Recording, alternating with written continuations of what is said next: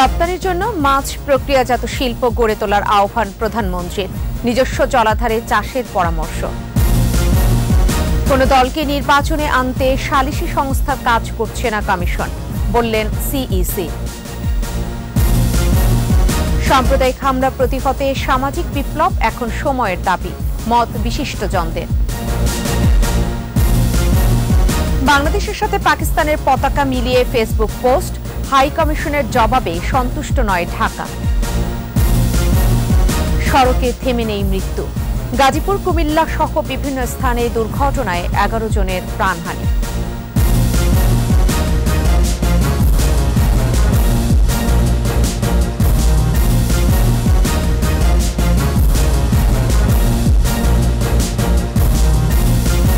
শুনছিলেন first security Islami bank limited সংবাদ শিরোনাম। প্রত্যেককে আমন্ত্রণ জানাচ্ছি সন্ধ্যা সাতটার একুশে সংবাদে। সাথে থাকছে আমি ফেরদৌসি আহমেদ।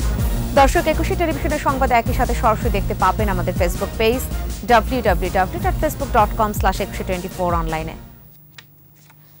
অভ্যন্তরীণ পুষ্টি চাহিদা মিটিয়ে রপ্তানির জন্য মাছ প্রক্রিয়াজাতকরণের উদ্যোগ নেয়ার আহ্বান জানিয়েছেন প্রধানমন্ত্রী শেখ হাসিনা। সমুদ্র সম্পদের সম্ভাবনা কাজে লাগিয়ে রপ্তানি আয়ের দিকে এগোনোরও তাগিদ দিয়েছেন সরকার প্রধান। জানাচ্ছেন আকবর হোসেন সুমন। নিরাপদ মাছে ভরব দেশ, বঙ্গবন্ধুর বাংলাদেশ প্রতিবাদে শুরু হয়েছে জাতীয় মৎস্য সপ্তাহ। বঙ্গবন্ধু আন্তর্জাতিক সম্মেলন কেন্দ্রে গণভবন থেকে যুক্ত হয়ে আনুষ্ঠানিক উদ্বোধন করেন প্রধানমন্ত্রী শেখ হাসিনা। মৎস্য খাতে বিশেষ অবদানের জন্য একুশ ব্যক্তি ও প্রতিষ্ঠানকে দেওয়া হয় স্বর্ণপদক ও সম্মাননা।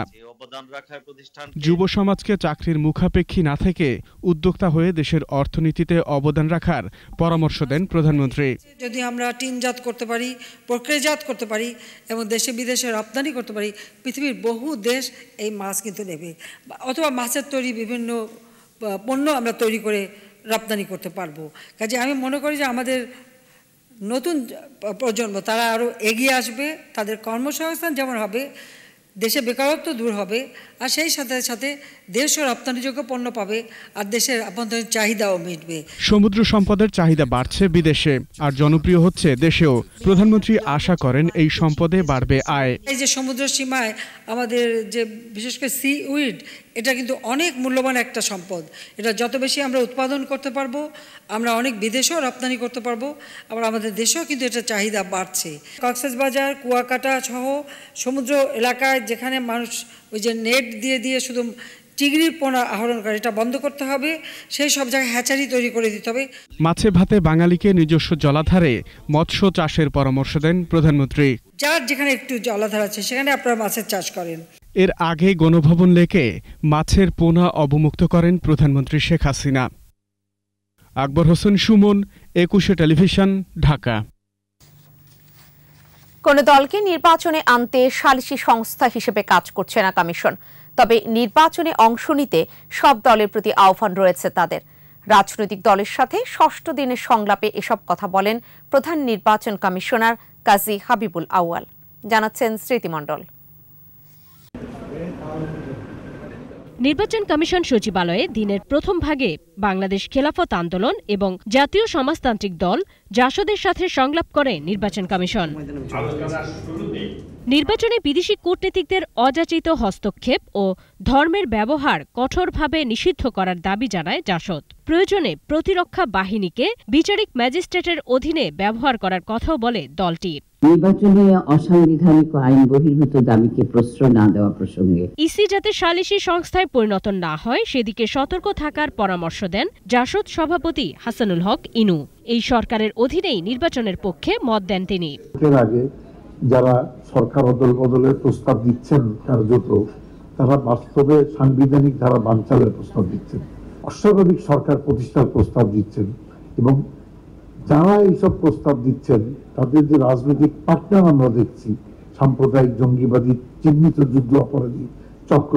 সিইসি বলেন আইনে নির্বাচন কমিশনকে পর্যাপ্ত ক্ষমতা দেয়া আছে। সবাই যাতে ভোট কেন্দ্রে নির্বিঘ্নে ভোট দিতে পারে সে লক্ষ্যে কাজ করবে ইসি। ক্ষমতাটার জন্য আইনানুগভাবে আমরা প্রয়োগ করলে যদি আপনারা সমর্থন দেন, সমর্থন না দিয়ে যদি আপনারা আমাদের বিরুদ্ধে বিরুদ্ধচারণ করেন, তাহলে কঠিন কঠিন হবে। কাউকে নির্বাচনে আসতে আমরা বাধ্য করতে পারব না, সেটা আমাদের দায়িত্ব নয়। আর আমাদের দায়িত্ব সুন্দর, সুস্থ গ্রহণযোগ্য নির্বাচনের জন্য সবাইকে সবাইকে আহ্বান করা। এর আগে নির্বাচনে ইভিএম ব্যবহার না করা চলমান সংসদ ভেঙে দেয়া এবং নিরপেক্ষ সরকার গঠন সহ চল্লিশটি দাবি তুলে ধরে বাংলাদেশ খেলাফত আন্দোলন। ভোট এটা একটা আমানত। এই আমানতটা যাতে সঠিকভাবে জনগণ প্রয়োগ করতে পারে সেই জন্য আপনারা ক্ষেত্র তৈরি করে দিবেন। তবে আইন অনুযায়ী বিদ্যমান সরকারের অধীনে নির্বাচন করার কথা বলেন সিইসি। নির্বাচনকালীন সরকার তত্ত্বাবধায়ক সরকার ইত্যাদি সরকার বিষয়টি এখনও হয়তো চূড়ান্ত হয়নি বা সেটি কীভাবে হবে কিন্তু সরকার থাকবে। নির্বাচনের সময় যে সরকার থাকবে সেই সরকারের সাথে আমাদের ইন্টারাকশন থাকবে এবং আমাদেরকে সরকার সহায়তা করবে। বিকেল ইসলামিক ফ্রন্ট বাংলাদেশ সংলাপে অংশ নিল জাতীয় সমাজতান্ত্রিক দল জেএসডি। সংলাপে অংশ নেয়নি। স্মৃতিমণ্ডল, একুশে টেলিভিশন, ঢাকা। রাষ্ট্র, সমাজ ও সরকারের নিষ্ক্রিয়তাই সাম্প্রদায়িক হামলার জন্য তাই বিচারহীনতা সংস্কৃতির জন্যই বারবার সংখ্যালঘু সম্প্রদায়ের বাড়িঘর ভাঙচুর, লুটপাট ও অগ্নিসংযোগের মতো ঘটনা ঘটে। এসব ঘটনা প্রতিহত করতে সামাজিক বিপ্লব এখন সময়ের দাবি, এমনটা বলছেন বিশিষ্টজনেরা। জানাচ্ছেন রাসেল খান। সামাজিক যোগাযোগ মাধ্যম ফেসবুকে ইসলাম ধর্ম নিয়ে আপত্তিকর পোস্ট দেওয়ার অভিযোগে নড়াইল লোহাগড়ার দিঘুলিয়া গ্রামে সংখ্যালঘু সম্প্রদায়ের বাড়িতে হামলা ও ভাঙচুর চালানো হয়। ঘটনার প্রতিবাদে নাগরিক সমাজের আলোচনায় সেদিনের বিশদ বর্ণনা তুলে ধরেন প্রত্যক্ষদর্শী হ্যামলেট সাহা। পুলিশ যখন অশোক শাহকে নিয়ে চলে যাচ্ছে, ঠিক সেই মুহূর্তে প্রায় পাঁচশো থেকে ছয়শো জন দরজায় কারা নাড়ছে যে টাকা দে নালে ঘর বাড়ি ভেঙে ফেলব পুরাই দেবো তবে মেরে ফেলব। সাম্প্রদায়িক হামলা বন্ধে কমিশন গঠন শিক্ষা ব্যবস্থার আমূল পরিবর্তন ও আইনের সংস্কার সহ নানান প্রস্তাবনা উঠে আসে এই আলোচনায়। অর্থভিত্তিক যে শিক্ষা ব্যবস্থা এবং কোচিং সবকিছু মিলে যেটা হয়েছে এখান থেকে যে শিক্ষাটা পেয়েছে সে শিক্ষা তো এই কথাই বলবে যে টাকা দাও নইলে বাড়িতে আগুন দেবো। যে কোনো মানবাধিকার লঙ্ঘনে সবাইকে সোচ্চার হওয়ার আহ্বান জানান বক্তারা। যদি কোথাও কোনো জবাবদিহিতা না থাকে তাহলে ধর্মীয় সংখ্যালঘুর অত্যাচারের ক্ষেত্রে জবাবদিহিতা থাকবে এইটা আশা করা করার কিন্তু কোনো কারণ নেই। সচেতনতা বাড়িয়ে এটা কমানো যায় এটা যেমন সত্য। পাশাপাশি বিচারহীনতা সংস্কৃতি যদি প্রিভেল করতে থাকে তাহলে কিন্তু এটা বন্ধ করতে পারবেন না। মুক্তিযুদ্ধের পক্ষের শক্তি ক্ষমতায় থাকার পরেও এই ঘটনাগুলো ঘটছে। সুতরাং এটা উদ্বেগের বিষয়। সংখ্যালঘু সম্প্রদায়ের বাড়িঘরে হামলায় দায়ের করা মামলায় ধীরগতির কারণেই এ ধরনের ঘটনার পুনরাবৃত্তি ঘটে অভিযোগ বিশিষ্টজনদের। নয়জন লোক যেখানে গ্রেপ্তার হয়েছে। সেই লোকদের মধ্যে চারজনই হচ্ছে শাসক দলের রাজনীতির সঙ্গে যুক্ত। গণতান্ত্রিক উত্তরণ যদি না ঘটে তাহলে ক্ষমতার যে বৈপরীত্য আছে সেই বৈপরীত্যের ন্যূন- ন্যূনতম ভারসাম্য আনা কষ্টকর হবে। তৃণমূল পর্যায়ে রাজনৈতিক দলে যারা ব্যক্তিবর্গ থাকেন তারা ধর্মের নামে সাম্প্রদায়িকতার ছোবল থেকে বেরোতে না পারলে দেশের অর্থনীতিতেও প্রভাব পড়ার আশঙ্কা বিশিষ্টজনদের। সমাধানের জায়গাতে রাসেল খান একুশে টেলিভিশন ঢাকা। বাংলাদেশের পতাকার সাথে পাকিস্তানের পতাকা মিলিয়ে অফিসিয়াল ফেসবুক পেজের কাফার ফটো দেওয়ার বিষয়ে দেশটির হাই কমিশনের জবাবে সন্তুষ্ট নয় পররাষ্ট্র মন্ত্রণালয়। সংবাদ সম্মেলনে পররাষ্ট্রমন্ত্রী ডক্টর এ কে আব্দুল মোমেন একথা জানান। এদিকে আগামী সাতাশ জুলাই ঢাকায় বসছে ডি এইট সম্মেলনের পঁচিশতম অধিবেশন। এবারের সম্মেলনে জ্বালানি খাদ্য নিরাপত্তা ইস্যু গুরুত্ব পাবে বলে জানান পররাষ্ট্রমন্ত্রী। তাছাড়া সদস্য রাষ্ট্রগুলোর মধ্যে অগ্রাধিকারমূলক বাণিজ্য চুক্তি এ বছরই বাস্তবায়ন করতে কৌশল খোঁজাও আছে সম্মেলনের আলোচ্য সূচিতে। প্রত্যেকটা মিশনে তারা মালয়েশিয়া, তো একই ধরনের। তারা সেই জন্য আমাদের এটা করেছে, অন্য রকম কোনো ইবিল মোটিভ নিয়ে করে নাই। তারা এইভাবে করছে- অন্য দেশে সেই নিয়মে বাস বাংলাদেশও করবে। আমাদের আপত্তি থাকলে নিশ্চয়ই দে উইল আমরা একটা বলেছি যে আমাদের এইটা পছন্দ। ইট যেখানে আমাদের মিশন আছে, সেই দেশে আমাদের ফ্ল্যাগ এবং ওই দেশের ফ্ল্যাগ একসাথে দিই। সো দ্যাটস ইট তারা সেটা, আমি খুশি না খুশি সেইটা গাজীপুরে রেল ক্রসিংয়ে বাস ট্রেনের সংঘর্ষে চারজনের প্রাণ গেছে। এছাড়া কুমিল্লা, টাঙ্গাইল, ময়মনসিংহ ও মুন্সীগঞ্জে সড়ক দুর্ঘটনায় আরও সাতজন নিহত হয়েছেন। এসব ঘটনায় আহত অন্তত তেত্রিশ জন। গুরুতর আহতরা বিভিন্ন হাসপাতাল ও স্বাস্থ্য কমপ্লেক্সে চিকিৎসাধীন রয়েছেন। প্রতিনিধিদের সহায়তায় জানাচ্ছেন মাসুম আলিসা গাজীপুরের শ্রীপুর মাইজপাড়া ক্রসিংয়ে ট্রেনের সাথে শ্রমিকবাহী বাসের সংঘর্ষ হয়। এ সময় চারজন নিহত ও আহত হন তেরো বাস যাত্রী শ্রমিক। সকাল সাড়ে সাতটার দিকে ময়মনসিংহগামী বলাকা এক্সপ্রেস ট্রেনটি মাইজপাড়া ক্রসিং পার হওয়ার সময় এ দুর্ঘটনা ঘটে।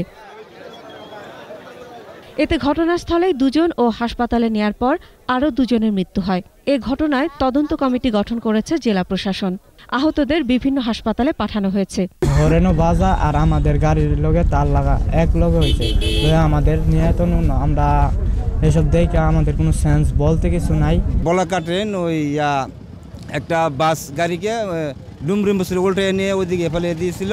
সাড়ে সাতটার দিকে সকালে এই জামান গার্মেন্টসের স্টাফ বাসের সাথে ট্রেনের একটা সংঘর্ষ হয়েছে। এখানে স্পটে একজন মারা গিয়েছিল। পরে ট্রেন থেকে দুইটা লাশ সহ মোট চারজনের খবর আমরা পেয়েছি। ঢাকা চট্টগ্রাম মহাসড়কের কুমিল্লার ইলিয়টগঞ্জে প্রাইভেট কার নিয়ন্ত্রণ হারিয়ে স্বামী স্ত্রী সহ তিনজন নিহত হয়েছেন। সকাল সাড়ে সাতটার দিকে এ দুর্ঘটনা ঘটে। পুলিশ জানায়, বৃষ্টির কারণে মহাসড়ক থেকে প্রাইভেট কারটি নিয়ন্ত্রণ হারিয়ে গাছের সাথে সজোরে ধাক্কা লেগে উল্টে রাস্তার পাশে খাদে পড়ে যায়। নিহতরা হলেন ফেনী জেলার ভূমি সহকারী কর্মকর্তা গিয়াসুদ্দিন মাহমুদ ফরাজি, তার স্ত্রী জাহানার আক্তার এবং শালিকা সালমা আক্তার। দুর্ঘটনা কবলিত প্রাইভেট কারটি উদ্ধার করা হয়েছে। এদিকে ভোরে টাঙ্গাইলের কালিহাতির সল্লায় বাস, ট্রাক ও পিকআপের ত্রিমুখী সংঘর্ষে বাস ও ট্রাকের চালক নিহত হয়েছে। আহত হয় আরও জন তাদের টাঙ্গাইল জেনারেল হাসপাতালে পাঠানো হয়েছে। ময়মনসিংহের ঈশ্বরগঞ্জে যাত্রীবাহী বাস ও প্রাইভেট কারের মুখোমুখি সংঘর্ষে মারা গেছে একজন। মুন্সীগঞ্জে বঙ্গবন্ধু এক্সপ্রেসওয়েতে পিক আপ অটোরিকশাকে চাপা দিলে একজনের মৃত্যু হয়। এ সময় আহত হয় আরও তিনজন। মাসুম আলিসা একুশে টেলিভিশন। বিরতি, যখন ফিরছি তখন থাকবে। টেকনাফের ইউএনওর অকথ্য ভাষায় গালিগালাজ অগ্রহণযোগ্য মন্তব্য হাইকোর্টে। আট মাসেও শুরু হয়নি ডিএনসিসির বর্জ্য বিদ্যুৎ প্রকল্পের কাজ, জমি অধিগ্রহণে ধীর গতি। দেখছেন সন্ধ্যা সাতটার একুশে সংবাদ। দেশে নির্বাচনে সুষ্ঠু পরিবেশ আছে এবং সবাই অংশগ্রহণ করবে বলে আশাবাদ জানিয়েছেন আইনমন্ত্রী আনিসুল হক। বিকেলে সচিবালয় থেকে নবনির্মিত রাঙামাটি চিফ জুডিশিয়াল ম্যাজিস্ট্রেট আদালত ভবনের উদ্বোধনী অনুষ্ঠানে ভার্চুয়ালি যুক্ত হন মন্ত্রী। এ সময় বলেন, রাজনৈতিক দলগুলোর সঙ্গে চলমান সংলাপ শেষে এ নিয়ে নির্বাচন কমিশন বিস্তারিত জানাবে। বিচার প্রার্থীরা যাতে নিজ জেলায় বসে বিচার পেতে পারেন, সেজন্য প্রত্যেক জেলায় আদালত ভবন নির্মাণ চলছে বলেও জানান আইনমন্ত্রী। নির্বাচন কমিশনের সাথে তাদের সংলাপ হচ্ছে। আমার মনে হয় এই সংলাপের পরে নির্বাচন কমিশন কি বলবেন সেটা শোনার জন্য আমরা অপেক্ষা করব।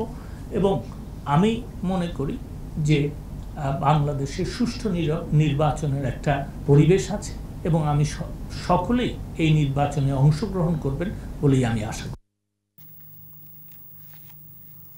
সরকার পদত্যাগ করে নির্দলীয় সরকারের অধীনে নির্বাচন দিলে চা খাওয়া যাবে। জাতীয় প্রেস ক্লাবে এক আলোচনায় প্রধানমন্ত্রীর বক্তব্যের জবাবে একথা বলেন বিএনপির মহাসচিব মির্জা ফখরুল ইসলাম আলমগীর। প্রধানমন্ত্রী বলেছেন যে প্রধানমন্ত্রী কার্যালয়ে এলে চা খাওয়া তারা কি বলে দেন যে আপনারা আমি কেয়ারটেকার গভর্নমেন্ট সিস্টেম মেনে নিচ্ছি। সেটা বলে দেন। তাহলে সেখানে চাটা খাওয়া যাবে শুনলেন হালকা কথা বলে লাভ নেই। আপনার এই সমস্ত চাটা খাওয়ার কথা বলে কোনো লাভ নেই। এবার একটাই কথা, পদত্যাগ করুন। পদত্যাগ করে নিরপেক্ষ নির্দলীয় সরকারের হাতে ক্ষমতা দিন। স্থানীয় একজন সাংবাদিককে উদ্দেশ্য করে কক্সবাজার টেকনাফের ইউএনও কায়সার খসরুর অকথ্য ভাষায় গালিগালাজ দুঃখজনক ও অগ্রহণযোগ্য বলে মন্তব্য করেছেন হাইকোর্ট। ইউএনওর বিরুদ্ধে বিভাগীয় কি ব্যবস্থা নেওয়া হয়েছে তা রাষ্ট্রপক্ষকে জানাতে বলেছেন হাইকোর্ট। রোববার বিচারপতি নজরুল ইসলাম তালুকদার ও বিচারপতি খিজির খায়াতের দ্বৈত বেঞ্চে দুদক আইনজীবী খুরশিদ আলম খান বিষয়টি উত্থাপন করলে এসব মন্তব্য করেন হাইকোর্ট। টেকনাফের ইউএনও মাস্তানদের চেয়েও খারাপ ভাষায় গালি দিয়েছেন বলে মনে করেন হাইকোর্ট। সম্প্রতি টেকনাফের আশ্রয়ণ প্রকল্পের অনিয়ম নিয়ে সংবাদ প্রকাশ করে একটি গণমাধ্যম। আর এরই পরিপ্রেক্ষিতে সেই সাংবাদিককে মোবাইল ফোনে অকথ্য ভাষায় গালিগালাজ করেন টেকনাফের ইউএনও। জেলা প্রশাসকের বৈঠকে টেকনাফের ইউনো বিষয়টা দুঃখ প্রকাশ করেছেন, কিন্তু জেলা প্রশাসক বিভাগীয় বিভাগীয় ব্যবস্থা নেওয়ার কথা বলেছেন। সেই বিষয়টা আমি জেলা প্রশাসকের সাথে আলাপ করে হাইকোর্টকে জানাব। একজন দায়িত্বশীল সরকারি কর্মকর্তার এই ধরনের আচরণ মেনে নেওয়া যায় না। তবে আদালত এও বললেন যে ডিসি সাহেবকে দুঃখ প্রকাশ করেছেন। আমি বললাম, ডিসি সাহেব দুঃখ প্রকাশ করেছেন, এটা একটা ভালো লক্ষণ। কিন্তু ডিসি সাহেব বলেছিলেন যে তার বিরুদ্ধে ডিপার্টমেন্টাল প্রসিডিং গ্রহণ করবেন কিন্তু এখন পর্যন্ত তো সেই ধরনের আমরা কোনো কিছু পাচ্ছি না। কুমিল্লার দেবিদারে সংসদ সদস্যের হাতে উপজেলা চেয়ারম্যান লাঞ্ছিত হওয়ার ঘটনায় তদন্তপূর্বক শাস্তির দাবি জানিয়েছে বাংলাদেশ উপজেলা পরিষদ অ্যাসোসিয়েশন। সকালে ঢাকা রিপোর্টার্স ইউনিটিতে সংবাদ সম্মেলনে জানানো হয়, গত ষোলো জুলাই সংসদ সদস্য ফখরুল ইসলাম কর্তৃক উপজেলা চেয়ারম্যান আবুল কালাম আজাদ লাঞ্ছিত হন। এ ঘটনার সুষ্ঠু তদন্তের জন্য স্পিকারের কাছে স্মারকলিপি প্রদান করবে উপজেলা পরিষদ অ্যাসোসিয়েশন।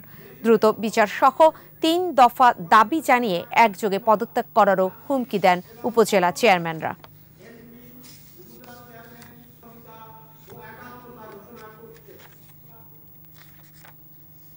জ্বালানি ও মুদ্রাস্ফীতির চলমান সংকট দীর্ঘমেয়াদী। সহজে মুক্তি মিলবে না। সিপিডির আলোচনায় এমনটাই বলেন বিশিষ্টজনেরা। সংকট উত্তরণে কার্যকরী পদক্ষেপ খুঁজে বের করার তাগিদ দিয়ে তারা বলেন, স্থিতিশীল বৈদেশিক মুদ্রার রিজার্ভ মুদ্রাস্ফীতি ব্যবস্থাপনা, বর্ধিত রাজস্ব উৎপাদন, অর্থনৈতিক কর্মকাণ্ডের জন্য বিদ্যুৎ ও গ্যাস সরবরাহ নিশ্চিত করা, সামাজিক নিরাপত্তা বেষ্টনী কর্মসূচি বৃদ্ধি করা আবশ্যক। বিদ্যুৎ ব্যবস্থাপনায় শুধুমাত্র আমদানি করা এলএনজির উপর নির্ভর করা কঠিন হবে জানিয়ে বক্তারা বলেন।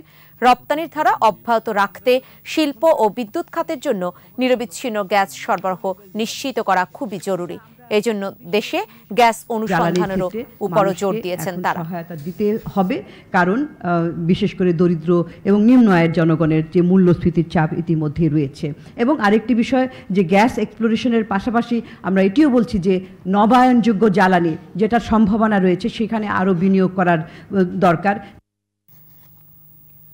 পরিবেশ সুরক্ষায় একবার ব্যবহারযোগ্য প্লাস্টিক বর্জন ও পরিবেশ বান্ধব প্লাস্টিকের উৎপাদন বাড়ানোর তাগিদ দিয়েছেন বিশেষজ্ঞরা। সকালে ঢাকা বিশ্ববিদ্যালয়ে এক সেমিনারে দেশের প্লাস্টিক রিসাইক্লিং ব্যবস্থাকে ন্যূনতম আশি শতাংশে উন্নীত করার পরামর্শ দেন বক্তারা। বলেন, প্লাস্টিক থেকে সহজে সুবিধা পাওয়া গেলেও তা মানুষের শরীরে ও পরিবেশে দীর্ঘস্থায়ী ক্ষতিকর প্রভাব ফেলে।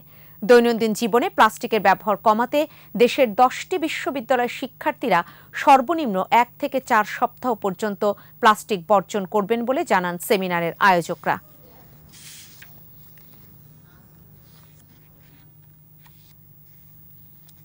আট মাস পেরিয়ে গেলেও শুরু হয়নি ঢাকা উত্তর সিটির বর্জ্য থেকে বিদ্যুৎ উৎপাদন প্রকল্পের কাজ।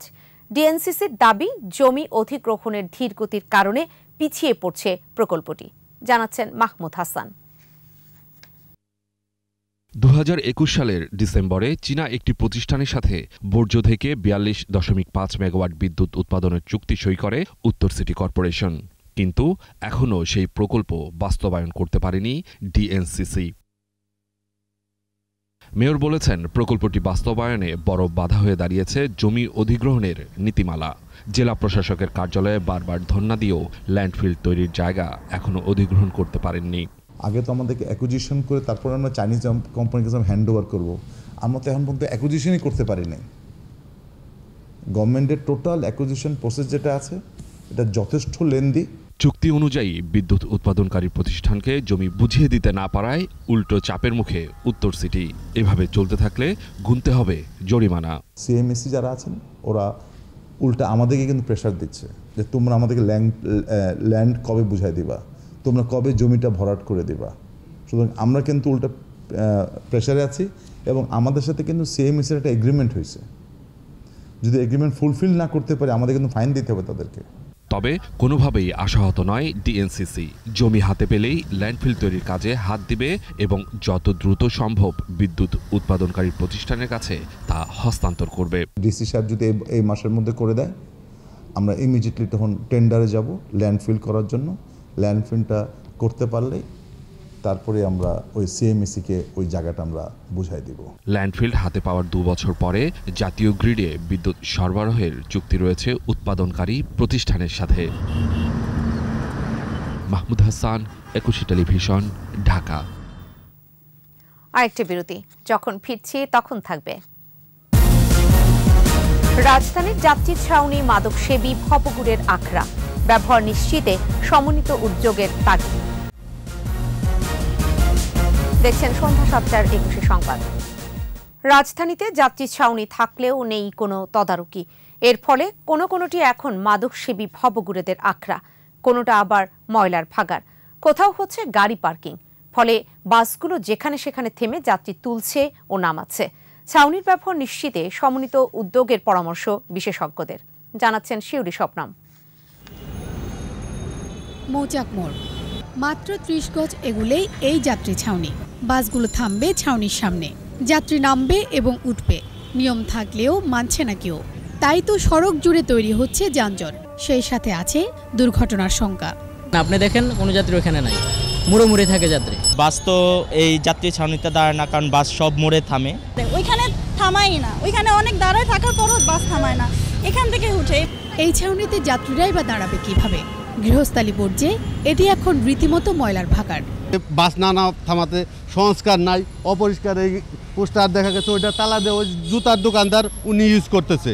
সবসময় ময়লা ময়লা ফেলা থাকে তারপরে এখানে মানে যাত্রীদের বসার মতো অবস্থা আসলে নেই। ঢাকার দুই সিটিতে আছে দেড়শোরও বেশি যাত্রী ছাউনি। কোনো কোনো ছাউনি আবার চলে গেছে অবৈধ দখলে। তদারকি ও সংস্কারের অভাবে যাত্রী ছাউনি থেকেও নেই। বৃষ্টির কারণে আমরা এখানে বৃষ্টির কবলে পড়ছিলাম। তো এখানে মানুষ অনেক কষ্টের মধ্যে ছিল। এগুলোতে যে দোকানগুলো আছে এই দোকানগুলোর কারণে যাত্রী একটু ভোগান্তির শিকার করছে অনেক যাত্রী ছাউনি আবার মাদকাসক্ত ও ভাসমান মানুষের আখড়ায় পরিণত হয়েছে। কোথাও কোথাও গড়ে উঠেছে ভাসমান দোকান। ম্যাক্সিমাম সময় যাত্রী সামনে খুব নেশাখোর মানুষ বসে থাকে পাগল বা যারা বাসের ইয়া করে কন্ট্যাক্ট কার্ডে ওরা বসে থাকে ওরা সবসময় দখল করে রাখে। সেই কারণে আমরা যাত্রীরা এখানে বসতে পারি না সড়কে শৃঙ্খলা ফেরাতে সঠিক স্থানে যাত্রী ছাউনি নির্মাণ ও ছাউনিগুলোকে ব্যবহার উপযোগী রাখার তাগিদ গণপরিবহন বিশেষজ্ঞদের। সিটি কর্পোরেশনগুলো আপনার যে সমস্ত যাত্রী ছাউনি তৈরি করবে, তারা যেন এখানে যাত্রী ছাউনিতে আরও কিছু ফ্যাসিলিটি আপনার ব্যবস্থা করে, হতে পারে সেটা ওয়াইফাই ব্যবস্থা করা, কিছু পানির ব্যবস্থা করা, খাবারের ব্যবস্থা করা। সেটা হচ্ছে পুলিশের দায়িত্ব থাকবে, সেটা হচ্ছে যাত্রী বাস চালক সেখানে থামছে কিনা সেটাকে নিশ্চিত করা। মালিকদের দায়িত্ব হবে আপনার হচ্ছে চালককে মোটিভেট করা এবং যাতে তারা যাত্রী ছাউনি থেকে যাত্রী ওঠানামা করায়। পরিবেশ মন্ত্রণালয়ের নির্মল বায়ু টেকসই পরিবেশ প্রকল্পের অধীনে নির্মিত হয়েছে উনিশটি যাত্রী ছাউনি। যাত্রী আকৃষ্ট করতে ওয়াইফাই টি স্টল ফোন চার্জের ব্যবস্থা সহ বিভিন্ন সুযোগ সুবিধা থাকার কথা থাকলেও সেসবের কিছুই নেই। শিউলি শবনম, একুশে টেলিভিশন, ঢাকা। প্রায় সাঁত্রিশ কোটি টাকা মূল্যের বিদেশি মদ সহ তিন মাদক ব্যবসায়ীকে গ্রেফতার করেছে র্যাব। নারায়ণগঞ্জ থেকে তাদের গ্রেফতার করে র্যাব। গার্মেন্টস পণ্যের আড়ালে দীর্ঘদিন ধরে চক্রটি দেশি বিদেশি সিন্ডিকেটের মাধ্যমে মাদক ব্যবসা করে আসছিল। গ্রেফতারের সময় দুটি ট্রাক, সাঁত্রিশ হাজার বিদেশি মদ ও দেশি বিদেশি কোটি টাকার মুদ্রা জব্দ করা হয়। গ্রেফতারকৃতদের বিরুদ্ধে আইনানুগ ব্যবস্থা গ্রহণ করা হয়েছে বলে জানায় র্যাব।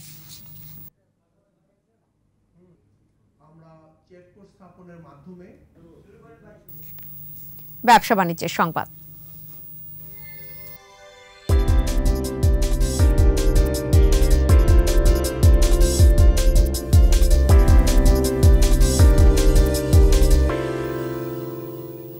সরকারি নীতি সহায়তা কাজে লাগিয়ে রপ্তানি বাণিজ্য সম্প্রসারণে উদ্যোক্তাদের আরও সক্রিয় হওয়ার পরামর্শ দিয়েছেন শীর্ষস্থানীয় শিল্প প্রতিষ্ঠান প্রাণ আরএফএল গ্রুপের চেয়ারম্যান ও সিইও আহসান খান চৌধুরী।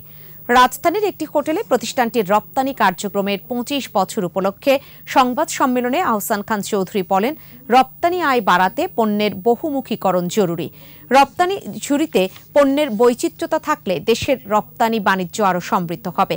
এ সময় অবকাঠামো উন্নয়ন সহ শিল্প সহায়ক সরকারি উদ্যোগের প্রশংসা করেন তিনি। গত অর্থ বছরে প্রাণ আরএফএল গ্রুপ তিপ্পান্ন কোটি বিশ লাখ ডলারের পণ্য রপ্তানি করে যার বেশিরভাগই আসে তৈরি পোশাক বহির্ভূত খাত থেকে। আমাদের। সো আমরা আমাদের পরিধি থেকে থেকে আমরা চেষ্টা করছি।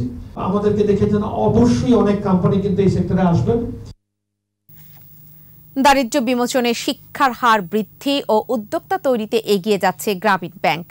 দুপুরে রাজধানীর মিরপুরে প্রতিষ্ঠানের প্রধান কার্যালয়ে সাংবাদিকদের সাথে মত বিনিময় ব্যাংকের চেয়ারম্যান অধ্যাপক doctor A K M Saiful Majid আরও বলেন, শিক্ষিত বেকারদের কর্মসংস্থানের লক্ষ্যে ঋণ সুবিধা এবং শিক্ষার হার বৃদ্ধিতে মেধাবী শিক্ষার্থীদের বৃত্তির ব্যবস্থা করা হয়েছে। অনুষ্ঠানে ব্যাংকের ব্যবস্থাপনা পরিচালক আব্দুর রহিম খান বলেন ভিক্ষুক মুক্ত সমাজ গঠনে তাদের কর্মসংস্থান তৈরিতে এ পর্যন্ত ছিয়াশি হাজার ভিক্ষুককে ঋণ প্রদান করছে করেছে গ্রামীণ ব্যাংক। মূলধারার জীবনে প্রায় বাইশ হাজার ভিক্ষুক ফিরে এসে ঋণ নিয়ে বিভিন্ন পেশায় জড়িতও রয়েছে বলে জানানো হয়। ওই ঋণ নিয়ে আসে তার ব্যবসা তার নিজস্ব কর্মসংস্থান সৃষ্টি করছে। এগ্রিকালচার সেক্টরকে আমরা ফোকাস করব আর কি। কারণ এখানে গ্রামে তো প্রচুর প্রচুর এগ্রিকালচার ওরিয়েন্টেড কাজ আছে, যেখানেও এই ধরনের প্রশিক্ষিত কর্মী বাহিনী দরকার আর কি। ওগুলো আমরা শুরু করে দেবো আলাদা, আলাদাভাবে আর কি। শুরু হয়েছে জাতীয় ব্যাডমিন্টন চ্যাম্পিয়নশিপের সাঁত্রিশতম আসর। শহীদ তাজউদ্দিন আহমেদ ইনডোর স্টেডিয়ামে আসর উদ্বোধন করবেন যুব ও ক্রীড়া প্রতিমন্ত্রী জাহিদ আহসান রাসেল এমপি উদ্বোধনী অনুষ্ঠানে বিশেষ অতিথি ছিলেন যুব ও ক্রীড়া মন্ত্রণালয়ের সচিব মেসবা উদ্দিন। সভাপতিত্ব করেন ব্যাডমিন্টন ফেডারেশনের সভাপতি ডক্টর আব্দুল মালিক। করোনা সংক্রমণ স্টেডিয়াম সংস্কারের কারণে দুই বছর বিরতির পর হচ্ছে এবারের আসর।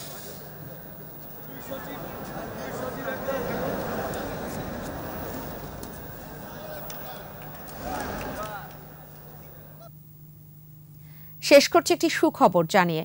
বাংলাদেশে এই প্রথম নবায়নযোগ্য জ্বালানি ব্যবহার করে চাউলের কুঁড়া থেকে বিদ্যুৎ উৎপাদন হচ্ছে। পোড়ানো কুড়ার ছাই থেকে উৎপাদন করা হচ্ছে সিলিকা, যা যাচ্ছে দেশের বিভিন্ন কারখানায়।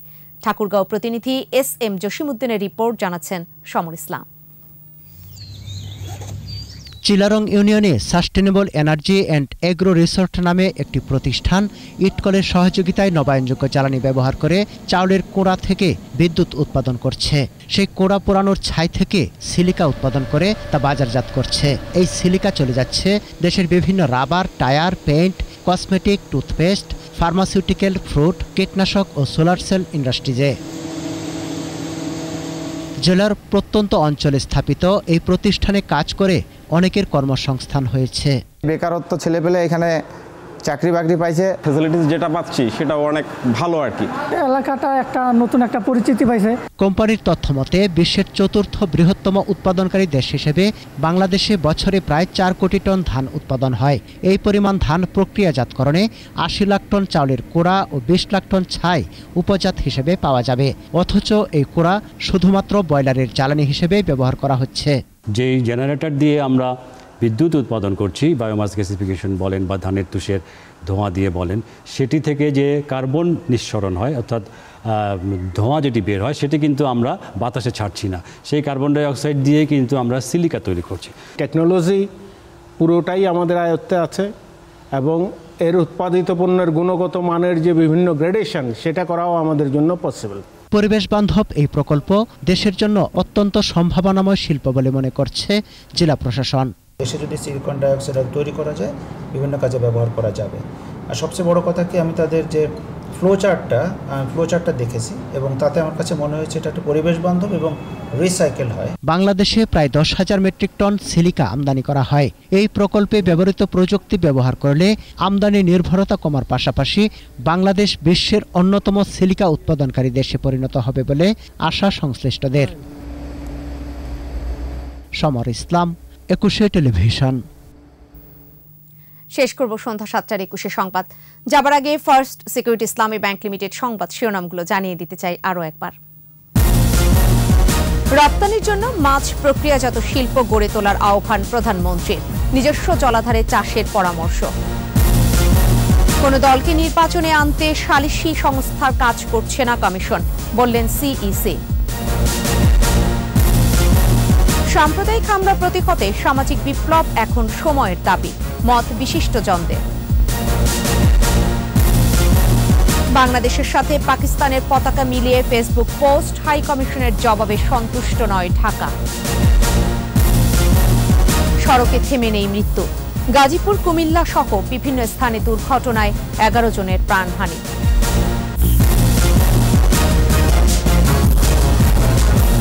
সর্বশেষ খবর জানতে ডায়াল করতে পারেন টু জিরো টু ওয়ান নাম্বারে আর ভিজিট করুন একুশে ড্যাশ টিভি ডট কম এই ওয়েবসাইটে। এছাড়া ফেসবুকে ভিজিট করতে পারেন Facebook dot com slash Ekushey twenty four অনলাইনে। পরবর্তী সংবাদ রয়েছে রাত নয়টায়। দেখার আমন্ত্রণ রইল। স্বাস্থ্যবিধি মেনে চলুন, সুস্থ থাকুন।